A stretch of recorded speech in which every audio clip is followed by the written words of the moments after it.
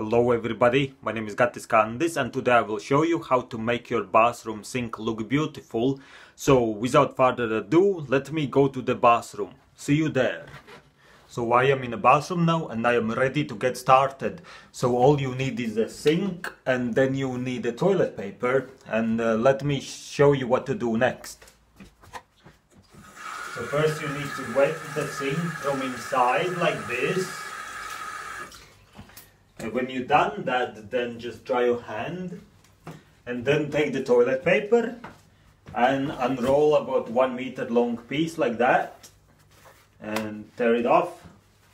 And then put it on sink like this like that and put it in the sink. So see like how it's beautifully hanging down right now. And then the, then you just repeat the whole process like that okay I just sped up this part to save the precious time and as you can see with every single piece it's getting more and more beautiful the more pieces the more beautiful um, so I finished doing that now. It is all ready.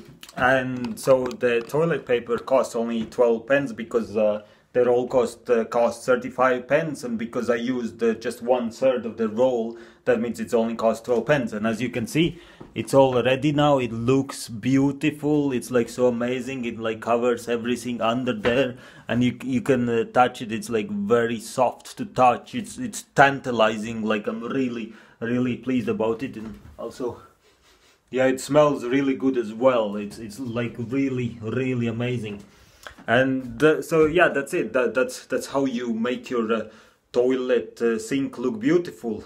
Uh, thank you very much for watching and i will speak to you soon